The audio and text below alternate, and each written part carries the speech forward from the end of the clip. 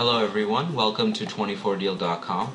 This is a tutorial to show you how to install the picture grabber button um, or option onto your Firefox browser. So using your Firefox, log into your account and when you log in you'll see on the right hand side here you're going to see the grab installer button.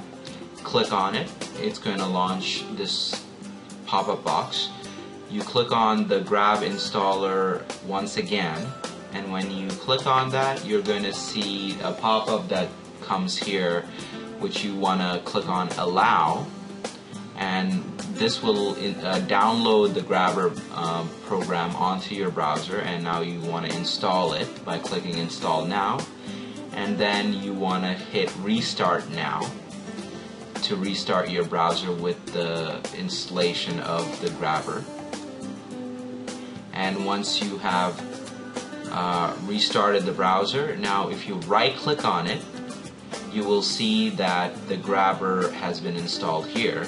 There's another way you can check it by also going to the tool menu and you'll also see the 24 grabber button um, or option here.